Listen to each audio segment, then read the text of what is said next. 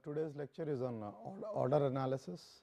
After having discussed uh, the Fourier transform, Fourier series, Fourier analysis, usually I would have seen that in uh, Fourier analysis we dealt with uh, stationary signals, wherein the signal was not changing during the time the Fourier operation was being done. But in real life you will see instances where the machine's speed do not remain constant and they change while you are doing either the data acquisition or doing the analysis. We have discussed about cepstrum analysis wherein we could find out the families of sidebands, but today in the last series on signal processing that would be completing module 3, we will be discussing about uh, order analysis. So, let us see what this order analysis is.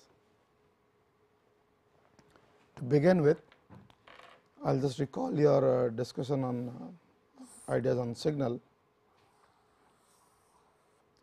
Signals could be periodic. And very deterministic. Or CDM signals could be this could be an example of your stationary signal. And another could be non stationary in the sense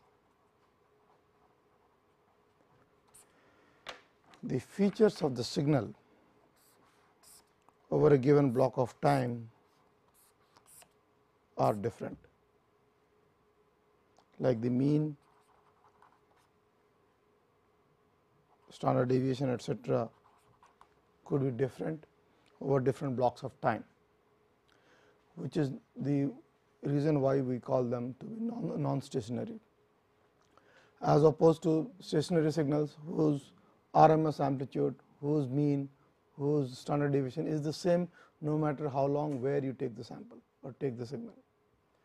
But let us take the case of a signal from a rotating machinery wherein the speed was changing and you will recollect maybe the frequency was increasing again decreasing this kind of time period will be obtained.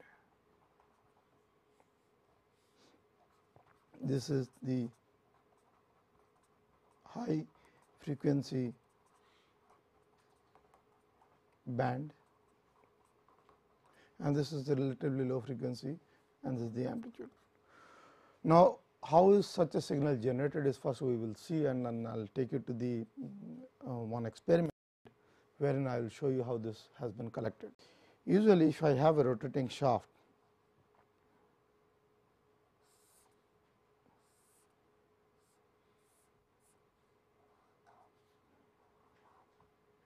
and there is a usually a keyway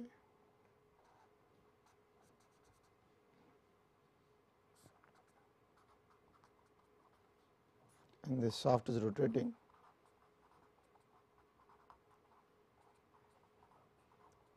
If I and of course, you know this is held on bearings maybe I will I'll these are my bearings and of course, there is a casing etcetera. This could be any machine. Okay. And if I put a transducer here, this is my transducer.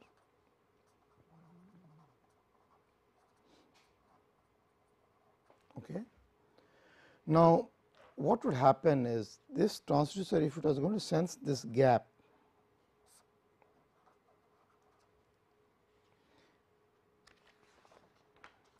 every rotation what would happen is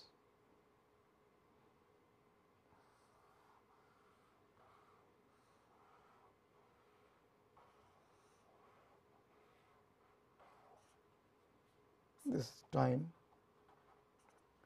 this is the voltage as generated by the uh, sensor and this would be nothing but one revolution of that shaft.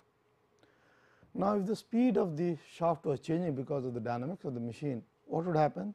This time period would either decrease or increase, but that transducer or which is sometimes known as a key phaser by some commercial companies gives the signal as to indicate whether the shaft has come just below Uh, the key has come just below the transducer. So, any speed fluctuation is captured by just knowing that one rotation of the shaft has been completed. Now, if while we are doing a data acquisition, for example, if I had put an accelerometer here or a vibration sensor here,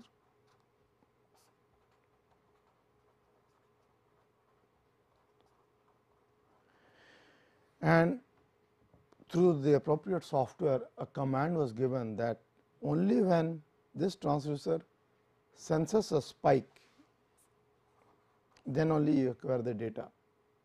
So, in that sense it always become, becomes that this is kind of synchronous to the location of the keyway below the transducer. So, if the speed is changing I need not worry each time I will be capturing my data just from one single point and this could be my vibration data. And if this vibration data had noise, this would look something like this.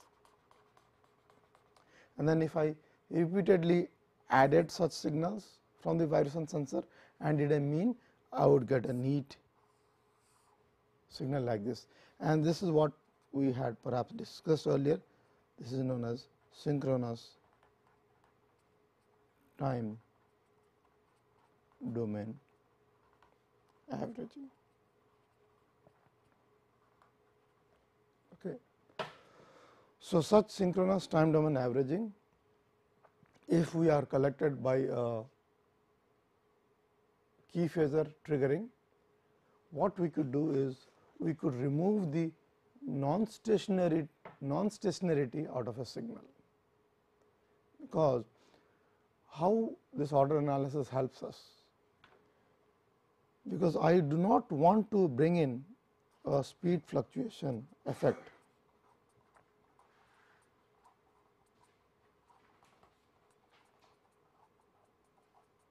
is reduced or minimized in the frequency domain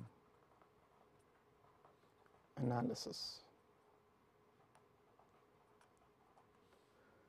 Well, what does this mean? What does this mean? Just to recollect, I had told you about stationary signals and non-stationary signals. So, I want to remove the non-stationarity out of a signal and just find out the stationary component of the signal. But that does not mean that non-stationary signals have no use use in condition monitoring. No, that is not right. For example, if I take the case of a some impact, okay, okay, I could do the frequency characteristics of such an impact by techniques of signal processing, which are known as you know wavelet analysis, short time Fourier transform etc.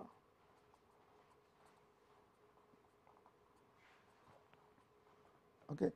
Just to understand the frequency characteristics of such non-stationary signals.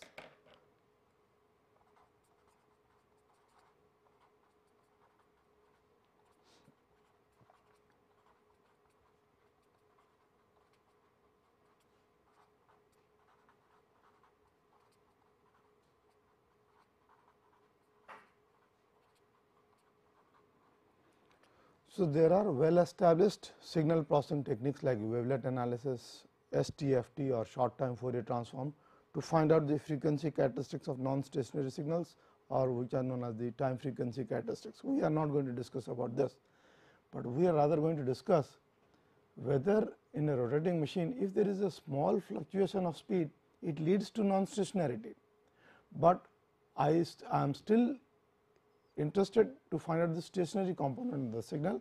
So, what kind of analysis we do? Like I just explained you, we do the time synchronous averaging by a key phasor signal or by a trigger signal obtained from the key. let us see if this speed was fluctuating while we are doing a Fourier frequency transformation, what would happen? So, if I take such a signal and do the frequency domain analysis, I will see just one peak perhaps.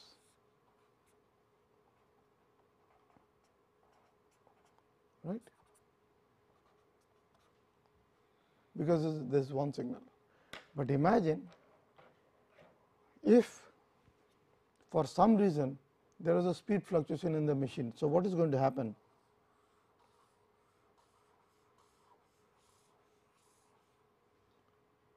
So, in such a case what would have going to happen is you know we will start with the low frequency maybe during the process of operation I will see in the FFT many frequencies, one because of the low frequency, one because of the high frequency.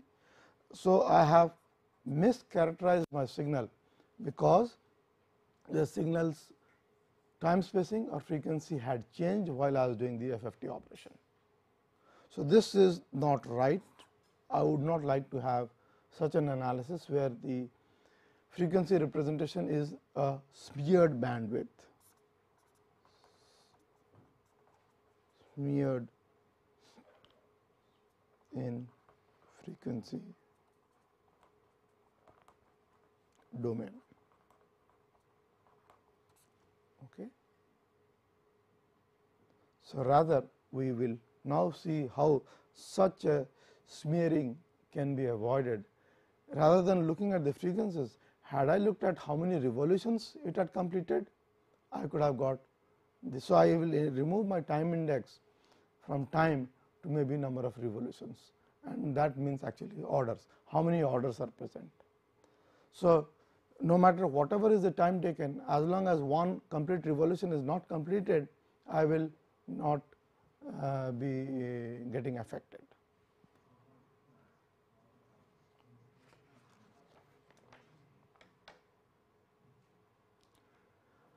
So, uh, you see in uh, many machines we have moving and fixed parts in machines.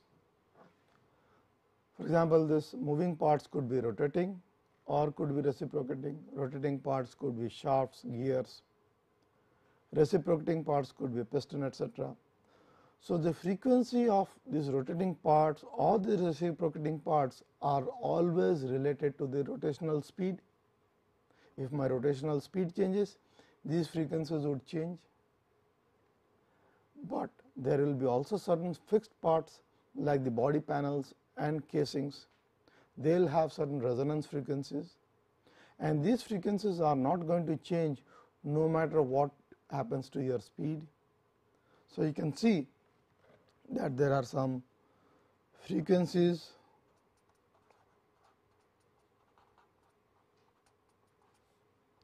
related to rotational speed.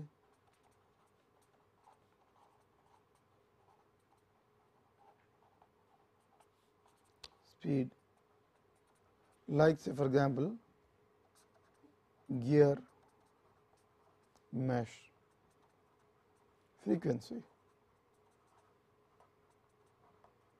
or GMF. This is nothing but number of teeth times the rotational speed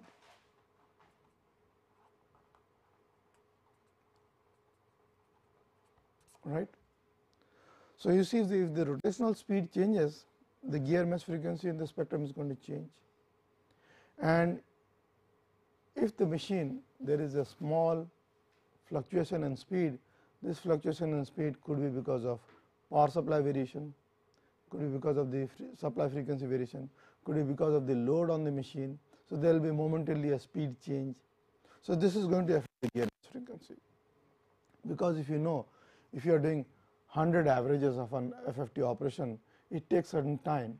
Within that time taken to do 100 averages, if the speed changes changed, you would have got a smeared frequency spectrum and that is what we want to avoid by order analysis rather than let us look into how many complete revolutions have occurred. But in there are also in machines certain fixed parts like the body panels, casings and because they are structural components, they have mass, they have stiffness, they will be also having a resonant frequency. So, you see in the same machine there are two classes of frequencies. One is the one like example the gear mesh frequency related on rotational speed, another resonant frequencies which is not related to rotational speed.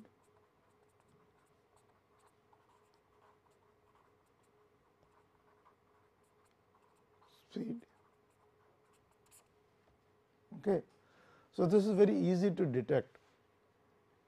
For example, in a frequency spectrum out of a machine, suppose I had the liberty or the convenience of changing the rotational speed, what would happen? Every frequencies which were not related to the rotational speed like a structural resonant frequency would be constant, right?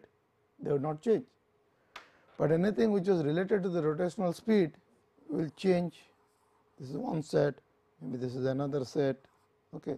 set 1, set 2, but these are these are fixed.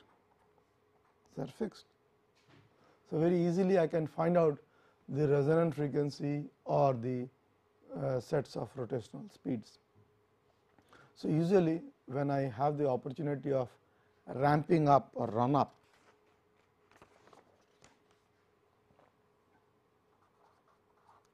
Run up or coast up or run down, coast down. They mean the same thing. This means I am increasing the speed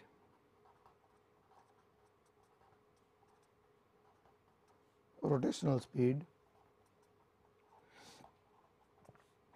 speed from a lower to a higher value and this is vice versa. This is the reverse. Okay. That means, if I was to plot the speed and say maybe the vibration amplitude this should this should be a run up case. Okay. I will give an example where they use a lot of run ups. Let us take the case of a gas turbine. You know, gas turbines have to run at almost around 20,000 to 30,000 rpm. So, one has to start from uh, start from rest from 0 hertz all the way up to uh, 20,000 rpm so, what happens in this 0 to 20,000 rpm you can understand that there will be many modes of natural frequency of this rotating shafts. So, imagine if I was to very slowly you know increasing, increasing the speed from 0 100 hertz, 200 hertz, 300 hertz and then I am sure to pass through a couple of resonances of this rotating speeds of the rotating shafts of the turbine and if so happens if I stay for a longer time at one of these uh, resonating speeds I may be I may be um, creating uh, harm to the shaft in the sense uh, the shaft could be subjected to high fatigue loads. So, in, in, in fact, when the uh, switch on a gas turbine they usually ask you to you know, accelerate up to the rotational speed while at the same time not stay at a particular speeds for uh, till you reach the final speed for a longer time, because as you know you will see in rotordynamics that it takes time for the amplitude to build up at resonance. Okay. So, you have to quickly pass through the resonance. Okay. And, and if you have sat in aircrafts and the pilot was starting the engine, you would have experienced that once it goes up to a, the high, highest RPM of the gas turbine, you will go through regimes of different uh, resonating frequencies and you will you can feel that kind of jerk or uh, no, loud noise at particular frequencies that is when you are passing the resonances. Okay.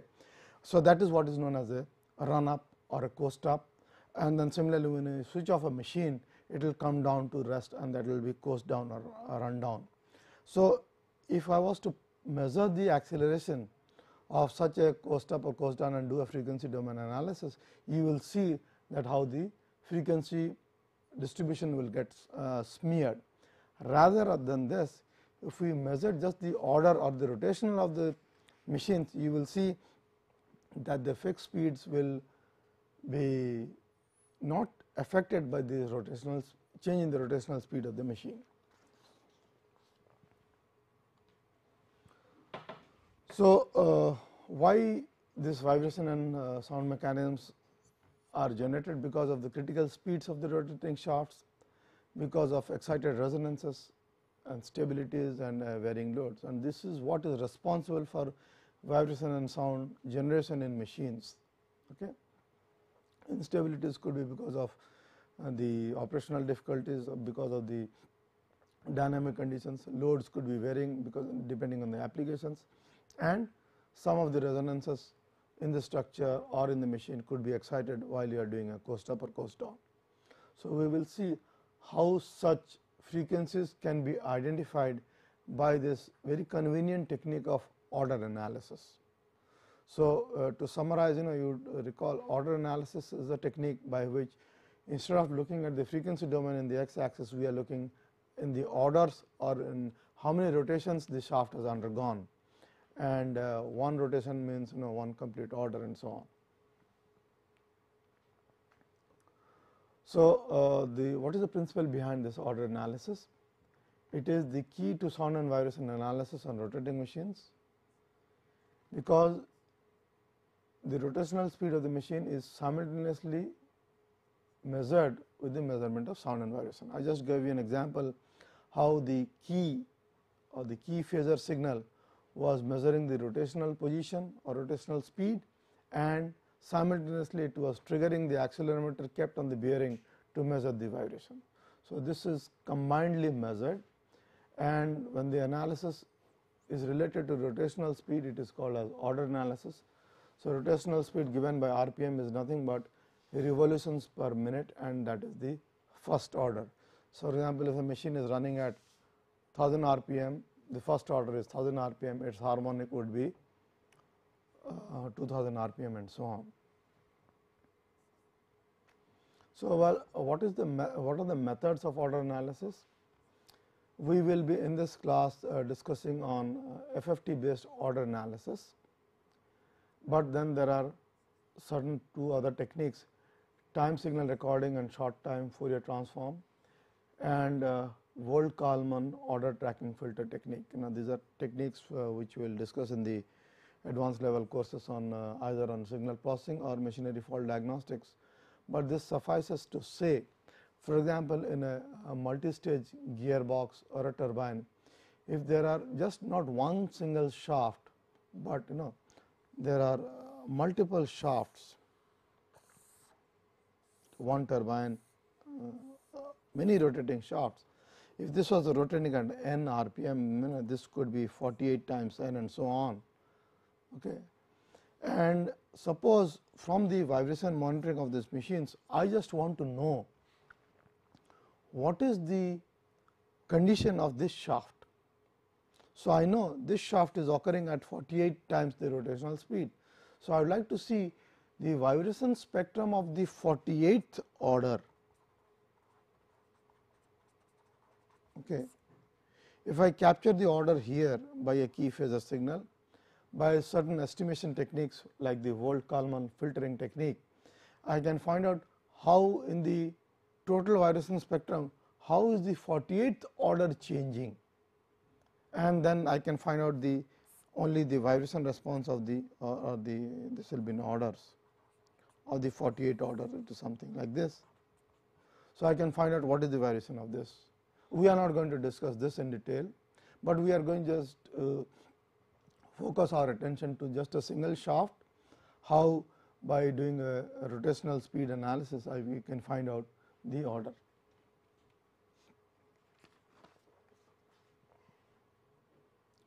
So, I will uh, take you to an example uh, which we uh, do in the lab.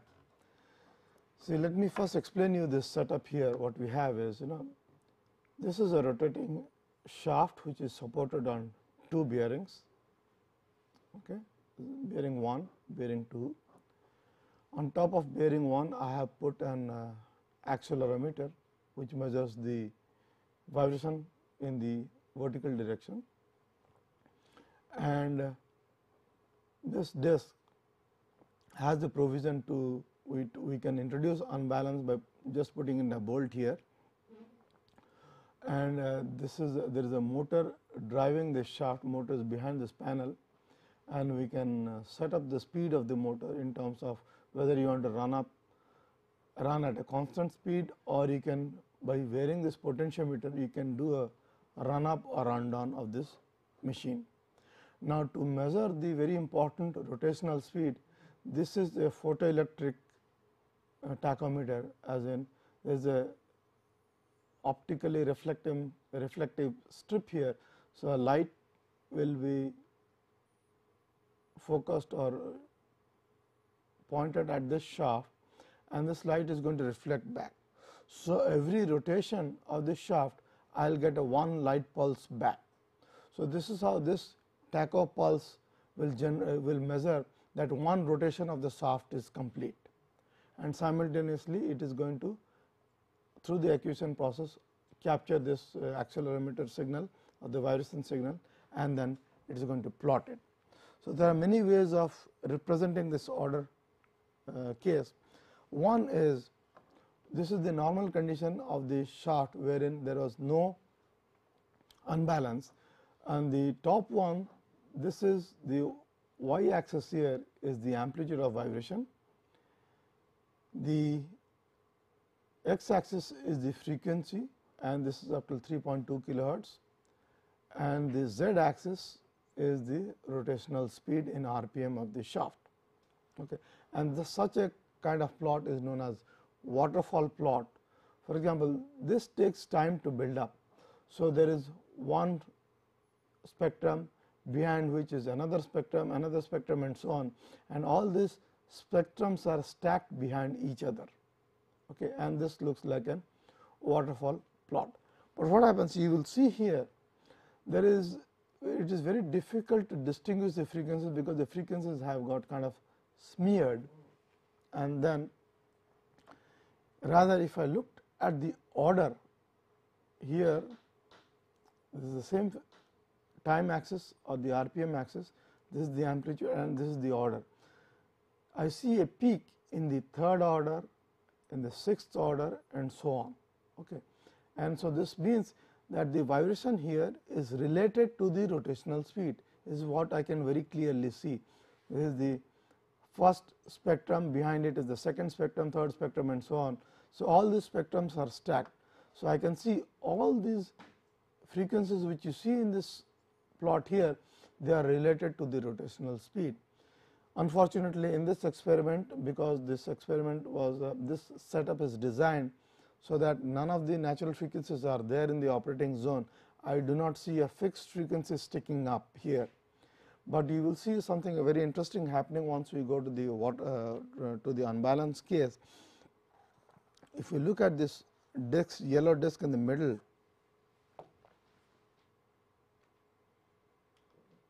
this yellow disk in the middle, there are many holes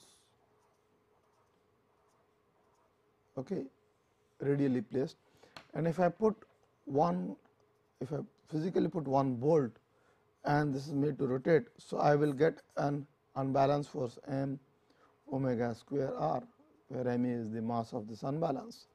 So, this unbalanced force is going to give me a force every rotation. Okay. So, here you look on the third rotation and sixth rotation and so on and some higher rotations I am getting a lot of vibration levels. And that could be something related to other phenomena in the rig. But if I go to the another plot of this and this is nothing but the same thing as on a contour plot where you can see the because you know that that was a little skewed. And you see this is the the color is the amplitude band and uh, that is the amplitude and this is the frequency and this is the order. you see looking at here particularly in the third order you can see this red strip okay? The amplitudes of vibration are high okay? This is related to the third rotational speed. Now what we did was we introduced unbalance onto the system. Once we introduced unbalance into the system and what we did was in all these cases even in the previous cases what we did was while this data was being collected, we physically moved this rotated the potentiometer.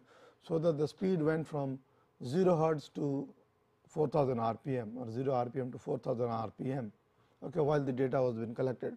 So, we have sweep the entire frequency spectrum and this is a collection of such a frequency spectrum, because had I just done a simple FFT and all the frequencies will get uh, represented and you will perhaps not see here, but there is a small because this is only till 160 hertz these lines are not straight and there are a little bend. Okay.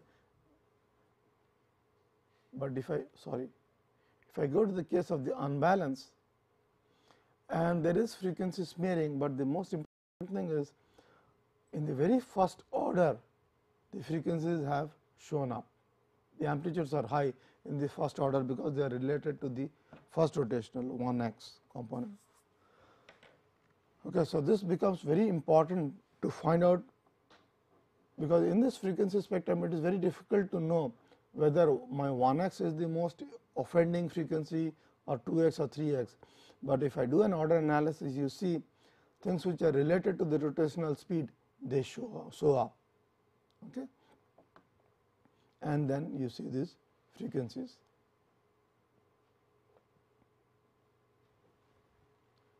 Now, the same waterfall plot I mean just to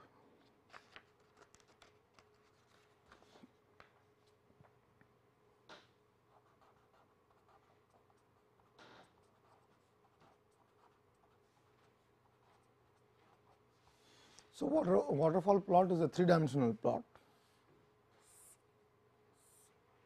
This is your frequency, this is your amplitude,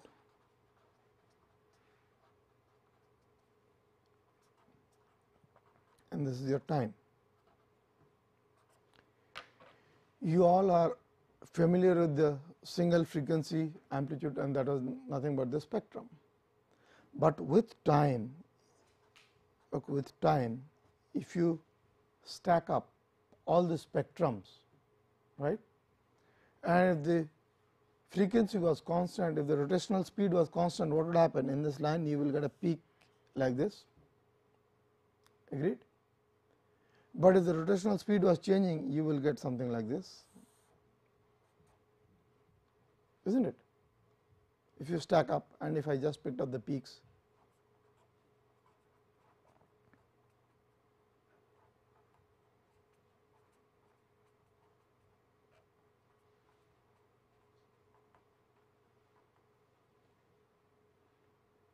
Okay, and if you so this is if I this was just for a single single uh, spectrum. If I average all of these together, I would get a frequency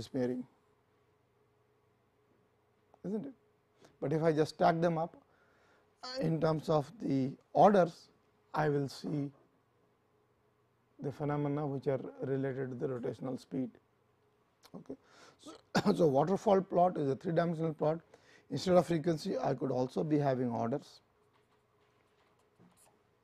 In orders, in, uh, in this example, you see for the unbalanced condition, a lot of smearing occurring. Okay. I, if you look at this red curve here, you cannot see whether this is because of a rotational speed or something else. But if you look at the orders here, you see distinct peaks coming out. Frequency smearing has occurred here with the top axis this is frequency and the top plot this is frequency in the bottom plot this is order. Here frequency smearing has occurred, but in this case nice distinct orders have come out and the first order is related to the unbalanced condition. Okay. So, waterfall plot is a three dimensional plot which gives us an instant recognition of the change in frequency in the spectrum. And then if you look at the contour plot, this is another way of representing that same uh, three dimensional plot. You see the first order is very strong here case of the unbalance. And again if you, you cannot perhaps see this in the black curve here, because we had done a ramp up operation, there is a speeding up or the change in the frequency. Okay. Now, once you have talked about the waterfall plot, there is another plot I will uh, just explain you or rather tell you Campbell diagram. This is used in uh, our rotordynamics.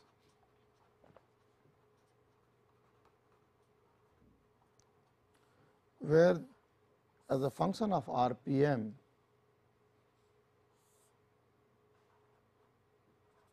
the RPM or the uh, with time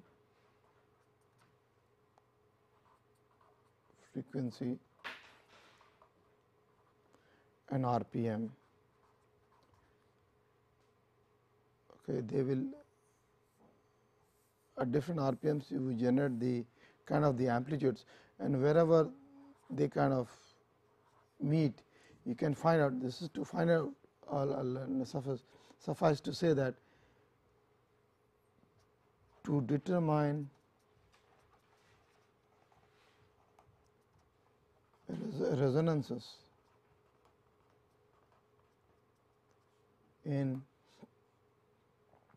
or resonance or, or critical speeds of shafts. Okay. Shafts need not have only one critical speed. Particularly when we design say for example, an electric motor,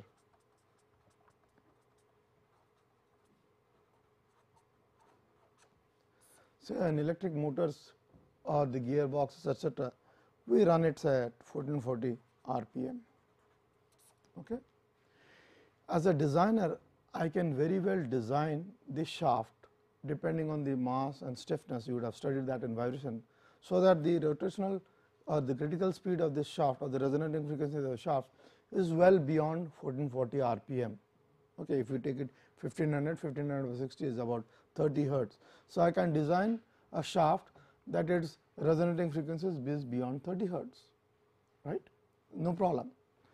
But say for example, I have a gas turbine okay. gas turbine on a 100 megawatt gas turbine. So, it rotates at 20,000 or uh, maybe 30,000 rpm. Okay. 30,000 rpm corresponds to 30,000 by 60 500 hertz. So, its operational speed is 500 hertz and it would be almost impossible to have a resonant frequencies only above 500 hertz. A designer would have a tough time designing such a system whose resonating frequencies is only beyond 500 hertz. So, that would require for a that would require a very very thin shaft and obviously, a 100 megawatt uh, gas turbine cannot be so thin that its resonating frequency is beyond 500 hertz? Well, as a, as a designer, why do you require it beyond 500 hertz? Because it should not excite or it should not get excited by the operational speeds, but that is not the case. There will be maybe 3 or 4 frequencies resonating frequencies below 500 hertz. So, it suffices to say that there are shafts whose resonating frequencies are within the operating zone. right? So, I have to find out what these resonating frequencies are and only during operations I can make sure that I do not excite these resonating frequencies. So, Campbell diagram is used by designers by uh, maintenance engineers to diagnose and find out rotating speeds critical rotating speeds of large rotating machines or machines operating at high speed high speeds okay 500 hertz and so on. For electric motors where we are talking about single speeds we do not talk about Campbell diagrams, but when there are flexible rotors of uh, lot of rotational critical speeds we will talk about Campbell diagrams. So, right now I will not focus more into Campbell diagrams, but let us see the importance of this key phasor. You will see in condition based maintenance where vibration is an important parameter to be measured, rotational speed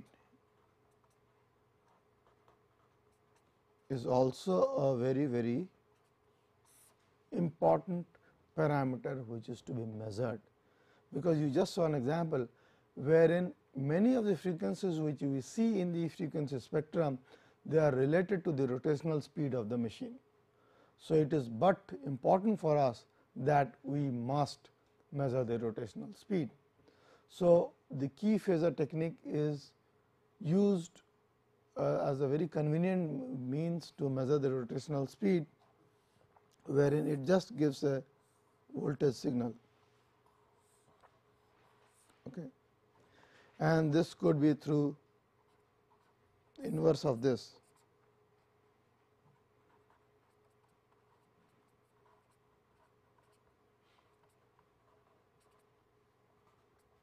because inverse of this time period is the rotational speed.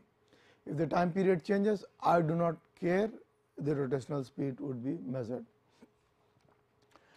The rotational speed could be changing, but there are again algorithms if I will get a pulse train square pulse out of such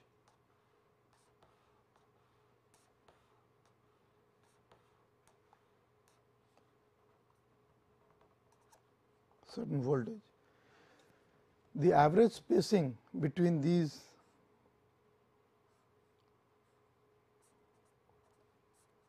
will be my rotational speed.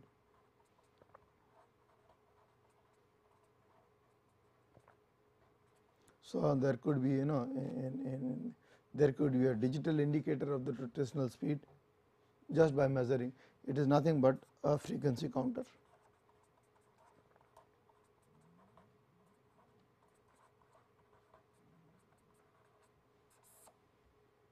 just by putting a frequency counter digital frequency counter I can get the rotational speed, but mind you this rotational speed you know if if the the digital display or the your sampling was very quick you will see these numbers jumping down and that happens in many of the machines which will go to the plant and see that the numbers will be jumping around maybe 1239 12 1241 uh, 1230 etc. These numbers jump around because this speed is fluctuating. Imagine while the speed is fluctuating, if you are doing an average FFT, you will have disastrous results. Results will have no meaning. So, that is the reason why we synchronize our acquisition process by just the triggering signal. So, order tracking or order analysis requires two very very important measurements. One is the rotational speed another is the parameter, it could be the vibration, it could be noise etcetera also and then we will see anything which is related to the rotational speed will show up as you know 1 x, 2 x, 3 x so on. One very important application of order analysis is the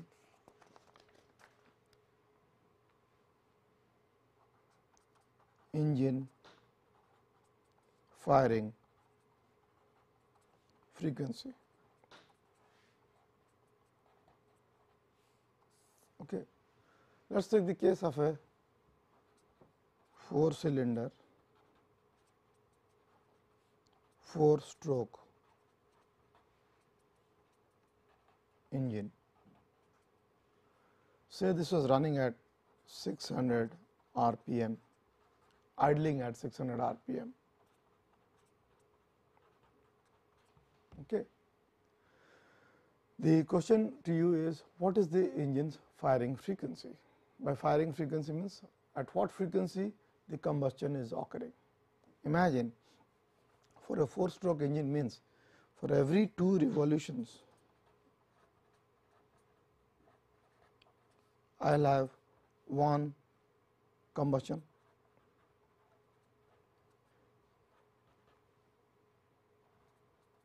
is not it right. So, in 600 rpm that means 600 revolutions per minute or 600 by 60 hertz. Okay, divide by 1 by 2 is the firing times 4 is the firing frequency because there are 4 cylinders. Now, if this was a 2 stroke engine this would have been 1 because for every rotation I was getting a firing. So, this is what is the engine firing frequency and that will come down to 10 to 20 hertz. Okay. I do not know if you have experienced this, but uh, no, if you have uh, sat on a the the a jeep, uh, you do not see them in the modern SUVs or MPVs, etc. But if you are talking about those old jeeps, you know, or the you know taxis which come from the railway station, you know, very ill kept taxis. If the driver was idling, you will see, you will kind of feel this rattling grr, grr, grr, noise and that is actually at the engine firing frequency. Okay, and if you measure that, you will see this 20 hertz component and you will, you will be perhaps being sometimes even see the steering column shaking, because the steering column which is fixed to the firewall and next to it is the engine. If the engine is running, once you are idling the engine, it is running at 20 hertz. So, there will be instances where the steering columns natural frequency could be close to 20 hertz okay. and there will be the steering column would be rattling. I do not know how many of you have observed that particularly in old jeeps and cars particularly in case of diesel engines okay, where the forces are high, you will see that the steering column of the vehicle gets excited on at a particular uh, speed, particularly in idle. What was the source of excitation here? It is the engine firing frequency, because engine by engine firing I mean the engine's combustion cycle. Okay, there will be a sudden built up of pressure okay, and this will come down with time and this is like a burst. Okay, every cycle one burst is happening okay, and this burst is an excessive pressure wave.